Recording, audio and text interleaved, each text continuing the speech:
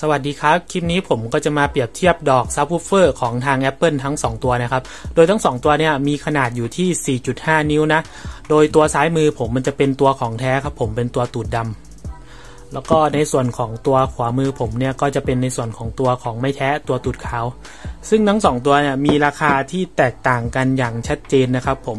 โดยตัวซ้ายมือเนี่ยเท่าที่หาได้ตอนนี้นะราคาจะอยู่ราวๆสัก 670 บาทครับ แล้วก็ในส่วนของตัวของไม่แท้ครับผม เท่าที่หาได้ตอนนี้นะก็ราคาราวๆสัก 280 บาท ซึ่งจะเห็นได้ว่าตัวของแท้ครับแพงกว่าตัวของไม่แท้ราวๆสัก 2 เท่าเลยนะครับผม ซึ่งก็เป็นประเด็นมาครับว่า เราควรที่จะเพิ่มเงินไปเอาตัวของแท้หรือว่าเราซื้อแค่ตัวของไม่แท้พอนะครับ ประมาณนี้แหละเออซึ่งหน้าตาโดยรวมก็มีความคล้ายคลึงกันมากครับ ผม ถ้าใครไม่เคยจับของแท้มาก่อนเนี่ยสังเกตยากเลย แต่ว่าตัวนี้มันสังเกตไม่ยากหรอกครับ ผมเห็นไหม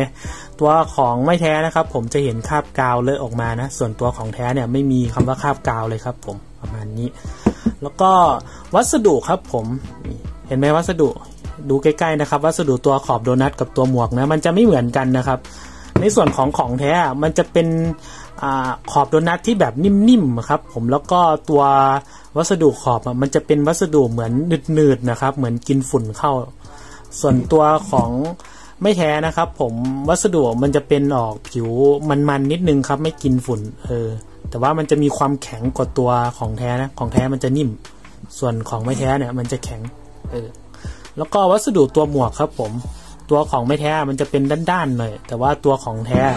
มันจะมีเงานิดนึงครับเห็นไหมเงามันจะสะท้อนกับแสงไฟนิดนึง มันจะมีความมันวาวนิดนึงครับผม ส่วนงานประกอบก็นี่ครับตามสภาพเลยคือของแท้มันไม่มีคราบกาวครับ แต่ว่าของไม่แท้มันจะมีคราบกาวประมาณนี้ ทั้ง 2 ตัวนะครับผมมีน้ำหนักที่แตกต่างกันนะ โดยของแท้เท่าที่ผมช่างมา ก็จะน้ำหนักอยู่ที่ราวๆสัก 1.4 กิโลกรัมครับผมแล้วก็ในส่วนของตัวของไม่แท้นะ เท่าที่ผมช่างมาก็จะมีน้ำหนักอยู่ที่ 1.3 กิโลกรัมครับจะเห็นได้ว่าน้ำหนักต่างกันที่ขีดเดียวหรือว่า 100 กรัมนะครับโดยที่ผมสันนิษฐานว่าที่มันต่างกัน เพราะว่าตัวของไม่แท้มันไม่มีชิวนะแต่ว่าของแท้มันจะมีชิวติดตรงตุด ประมาณนี้ แล้วก็ในส่วนของขนาดดิเมนชันนะครับ ผมก็จะมีขนาดที่เท่ากันเลยครับ เดี๋ยวผมขึ้นรูปให้ดูนะ เนี่ยจากรูปก็จะเห็นได้ว่าทั้ง 2 ตัวนะครับ พวกมีพวกรูน็อตมีระยะห่างหน้าตัดเท่ากันเลยครับ ผมคือเบ้าใส่ลำโพงก็เท่ากัน แต่ว่าทั้ง 2 ตัวนะครับ มันจะมีขนาดอ่าอย่างหนึ่งที่แตกต่างกันนะครับ ก็คือความสูงนะ ตัวของแท้มันจะสูงกว่าตัวของปลอมนะครับ เพราะว่าตัวของแท้มันจะมีชิวปิดตัวตูดลำโพงเนาะแต่ว่าตัวของปลอมมันไม่มีชิวประมาณนี้ แล้วก็ลักษณะของตัวขั้วลำโพงนะครับผมเนี่ยของของแท้มันจะเป็นตัวซ้ายมือนะดูดิขั้วลำโพงมันจะมีลักษณะที่แตกต่างกันนะครับเนี่ยตัวของแท้มันจะมีปลั๊กมาตั้งแต่โรงงานเลยครับ เพราะว่ามันเป็นในตัวลำโพงที่เขาถอดออกจากตัว Apple HomePod นะครับเนี่ยแจ็คเสียบมันยังอยู่เลยครับ ประมาณนี้ แล้วก็ตัวของแท้นะครับเขาจะมี QR code ให้นะ เป็น QR code พวกสแกนเอาเป็นตัวพาร์ทอุปกรณ์นะครับ แต่ว่าของปลอมมันจะไม่มี QR code ไม่มีอะไรเลยสลักมาเลยนะครับแล้วก็พวกลักษณะตัวโครงนะครับ มันก็จะไม่เหมือนกับไม่เหมือนกันสัทีเดียวนะ เห็นไหมโครงในส่วนของตัวเนี่ยตัวขั้วมันจะต่างกัน อันนี้มันจะเป็นเว้าๆหน่อย อันนี้มันจะเป็นแบบมีโครงตรงกลางลงมาประมาณนี้ แต่ว่าโดยรวมผมว่ามันก็ใกล้เคียงกันนะแล้วก็ในส่วนของตัวตูดลำโพงนะครับ นี่ตัวของแท้เขาจะมีชิวปิดมาให้ แล้วก็มีส่วนของคิวอาร์โค้ดโอ้ยมันดูดกัน แต่ว่าของแท้บางตัวนะครับ ผมของแท้บางตัวมันก็ไม่มี QR code ได้นะ ซึ่งผมเดาว่ามันน่าจะเป็นตัวที่เขาใส่มาคู่กันนะครับ เขาก็เลยไม่ได้สแกนเองไม่ได้ยิง QR code มาประมาณนี้ ส่วนรูระบายอากาศ ก็มีขนาดที่เท่า ๆกันนะครับ ผมว่ามันไม่ได้มีอะไรที่แตกต่างกันเลย พวกขนาดแม่เหล็กก็เท่ากันครับผม เออเพราะขนาดแม่เหล็กอะมันก็จะอยู่ราวๆสักความหนานะอยู่ที่ 20 มิลเท่ากันครับ แล้วก็ในส่วนของอเนี่ยเส้นผ่าศูนย์กลางลำไอตัวแม่เหล็กอะมันก็จะอยู่ที่ราวๆสัก 88-89 มิลเท่าๆกันเลยครับ ไม่ได้แตกต่างกันอะไรเลย โอเค เดี๋ยวผมจะทำการประกอบลงตู้แล้วก็เทสให้ดูครับว่าเสียงจะเป็นยังไงโดยผมจะใช้คู่กับตัวนี้ครับ ตัว w u s h i ZK-TB 21S ครับ เป็นตัวแอมจิ๋วไว้ขับเนาะในส่วนของ Frequency EQ อ่าแล้วก็วอลลุ่มของ Subwoofer ผมก็จะตั้งไว้ที่1นาฬิกาเท่ากันนะครับอืมแล้วก็ในส่วนของ RL Channel นะ อันนี้เป็นตัวเสียงมิดกับเสียงแหลมนะครับ เสียงกลางกับเสียงแหลมผมก็จะตั้งที่1นาฬิกาเท่ากันเลย แล้วก็ในส่วนของตัว Volume Master ผมก็จะปรับราวๆสัก 1-2นาฬิกาครับ แล้วแต่เพลงเนาะประมาณนี้ ในส่วนของตัวลำโพงซ้ายขวาผมก็จะใช้เป็นตัวไฮไวหรือว่าสวานในรุ่น B3N นะครับผมเป็นลำโพง 3 นิ้วที่มีกำลังขับสูงสุดอยู่ที่ 30 วัตต์ แล้วก็ค่าความต้านทานอยู่ที่ 8 โอห์มครับผมประมาณนี้ แล้วก็ในส่วนของตัวไฟเลี้ยงตัวแอมจิ๋ววูชินะครับ ผมก็จะใช้ไฟเลี้ยงที่ 24 โวลต์เลยนะครับเออแล้วก็เดี๋ยวเราไปดูเสียงกันครับว่าเสียงทั้งสองตัวเนี่ยมีความแตกต่างกันอย่างไรบ้างครับ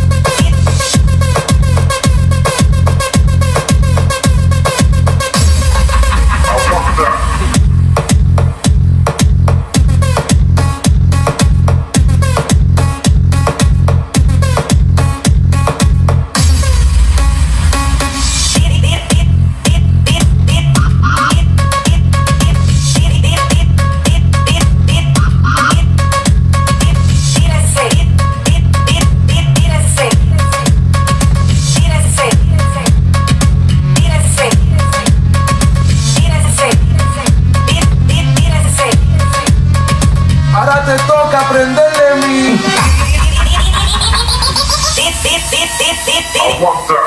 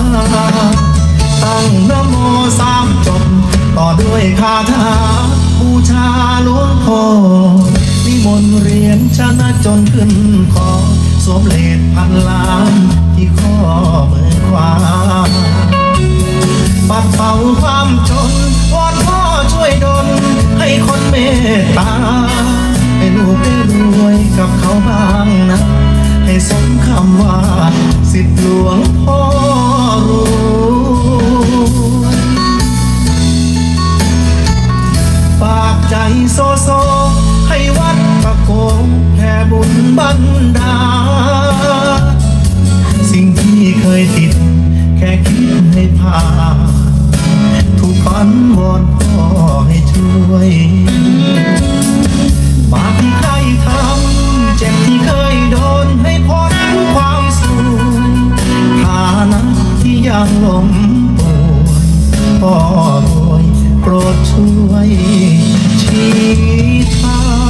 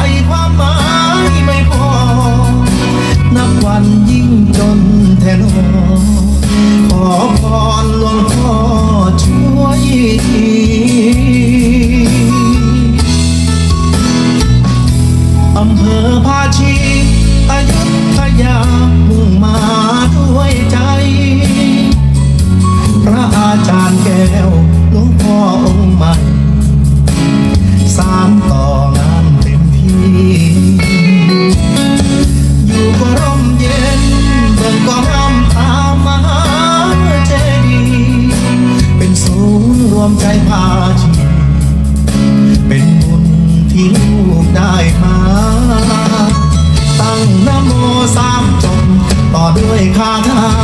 บูชาหลวงพ่อนิมนต์เรียนชนะจนขึ้นขอสมเลดพันล้า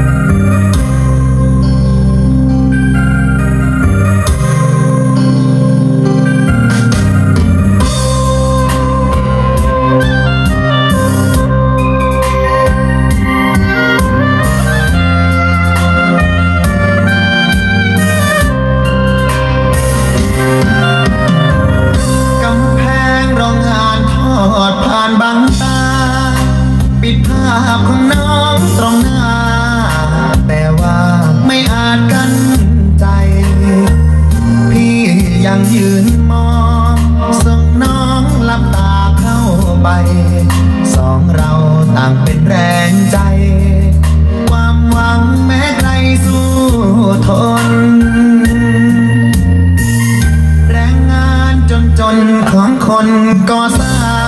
งจับมือน้องเดินเคียงข้างบนทางรักอันมืดมน น้อยวาสนาชินทารุ่งลาของคน บางครั้งเหน็ดเหนื่อยเหลือทนขอหน้ามนทนให้แรงใจหยาเหงื่อแรงเปลี่ยนมันให้กลายเป็นงา อย่าเมินอย่าหนีพี่ไกล ตราบใดบนฟ้า ตะวันสาดแสงส่องไป ความหวังแสนไกล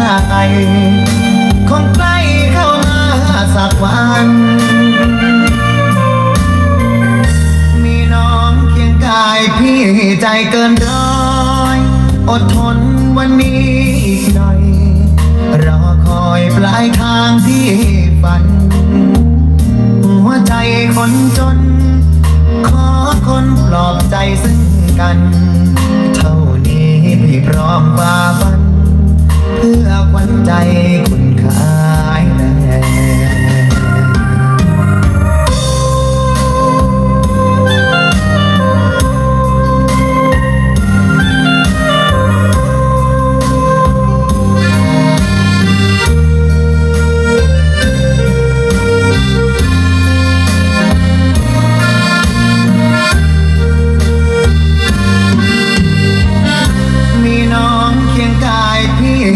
เกินร้อยอดทนวันนี้อีกหน่อย รอคอยปลายทางที่ฝัน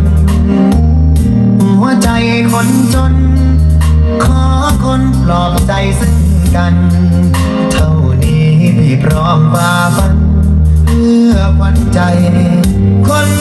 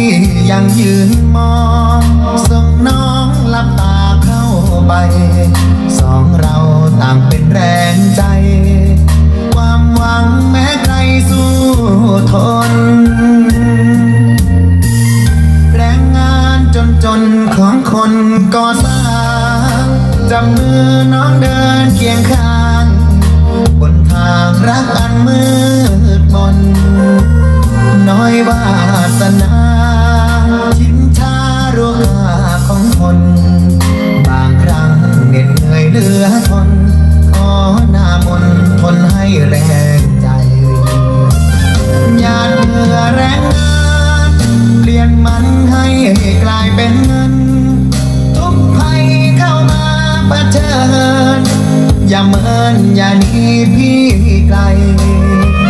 ตราบใดบนฟ้า ตะวันสาดแสงส่องไป ความหวังแสนไกลคงใกล้เข้ามาสักวันมีน้องเคียงกายพี่ใจเกินร้อย อดทนวันนี้อีกหน่อย ลายทางที่ฝัน หัวใจคนจน ขอคนปลอบใจซึ่งกัน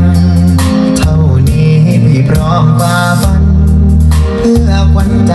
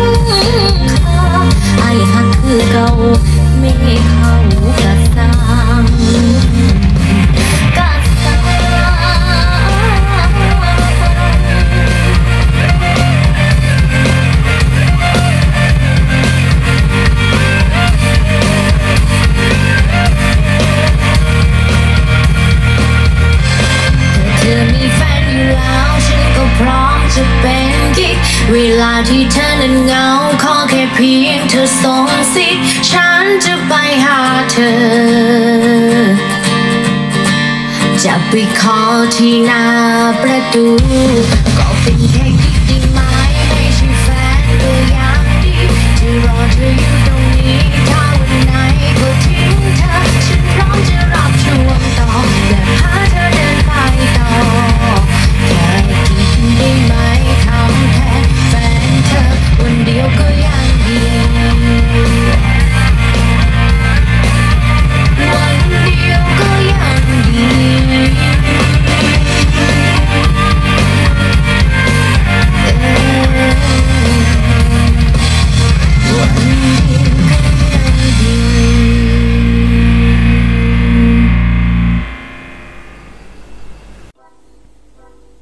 เคครับ เป็นไงกันบ้างครับ หลังจากที่ฟังกันไปแล้วก็พอจะเห็นภาพโดยรวมเนาะว่าทั้งสองตัวเนี้ยมีความเหมือนหรือแตกต่างกันอย่างไรบนตัวตู้ซับสูตรออเดอร์6นะครับ โอเค เดี๋ยวผมจะมาสรุปในส่วนของเรื่องเสียงไปเลยก็แล้วกันอ่อทั้งสองตัวเนี้ยนะครับ เท่าที่ผมนั่งฟังมาราวๆสักตัวละ 2 ชั่วโมงนะ ผมก็จับใจความได้ว่าทั้งสองตัวเนี้ย มันไม่มีความแตกต่างกันเลยครับ ผมว่ามันเสียงมันเหมือนกันเลยนะเออไม่ว่าจะเป็นในส่วนของขนาดของตัวเนื้อเบสนะครับ ผมออกมาเป็นลูกก็เป็นลูกที่ไม่ได้ใหญ่มากครับ ขนาดกลางๆเท่ากัน แล้วก็ในส่วนของความลึก ผมก็ว่ามันลึกพอๆกันครับ แล้วก็แรงกระแทกที่ออกมา ผมก็ว่ามันพอๆกันอีกครับ แล้วก็ในส่วนของความดัง ผมก็ว่ามันดังพอๆกันนะเออ ผมก็พยายามนะครับ จับผิดว่าทั้งสองตัวเนี้ยมันมีความเหมือนหรือแตกต่างกันอย่างไร โดยการเอาทั้งสองไฟล์ตัวนี้เท่าที่ผมอัดมานะอัดเสียงมาโดยไม่แยกเออ ผมก็มาเปิดฟัง เปิดเทียบกันไปช็อตต่อช็อตโดยการใส่หูฟังเลยนะ เออ ผมก็ยังจับ อะไรไม่ได้เลยครับว่ามันจะแตกต่างกันผมรู้สึกเหมือนกันเด๊ะๆเลยครับ มันไม่ได้มีอะไรแตกต่างกันขนาดนั้นนะเออแต่ว่าความรู้สึกเท่าที่ผมนั่งอยู่หน้าตู้มันจะมีความแตกต่างกันอยู่นิดนึงครับ โดยตัวของแท้ผมรู้สึกของแท้มันจะนุ่มกว่าตัวของไม่แท้นิดนึงนะเออแต่ว่าตัวของไม่แท้ผมรู้สึกว่ามันจะแน่นกว่าตัวแท้อยู่นิดนึงนะเออ เนี่ยผมรู้สึกอย่างนี้แหละครับ เท่าที่ผมนั่งหน้าลำโพงที่สังเกตได้นะ อาจจะเป็นเพราะว่าไอตัวของแท้นะครับ ผมขอบมันนิ่มมันนิ่ม เออ มันนิ่มมาก ส่วนในตัวของไม่แท้มันเป็นดอกใหม่นะครับ ขอบมันยังแข็งอยู่เดาว่าน่าจะเป็นเพราะจุดจุดนี้แหละทำให้เสียงมันแตกต่างกันนิดนึงเอออันนี้ผมเดานะ แต่ว่าผมนั่งฟังอยู่หน้าตู้ก็รู้สึกประมาณนี้แหละเออแต่ว่าเดี๋ยวผมมีตู้ sub สูตรใหม่แล้วครับ ก็เดี๋ยวผมจะ test เสียงให้ดูว่า กรณีที่เราใช้ของแท้กับของไม่แท้ในตู้ sub สูตรอื่นนอกจาก order order 6เนี่ย มันจะให้ลักษณะของเสียงที่แตกต่างกันอย่างไร แต่ว่าเท่าที่ผมลองบนตู้สูตรออเดอร์6ตอนนี้นะ ผมยังไม่เจอความต่างเลยตามนั้นแหละครับผม เอาเป็นว่าถ้าถามผมว่าตัวไหนน่าเล่นนะ ส่วนตัวผมนะ ถ้าแบบว่างบจำกัดจริง ๆ หรือว่าอยากเอาตัวที่มันคุ้มนะ ผมก็แนะนำตัวตูดขาวมากกว่านะครับเพราะว่าไอตัว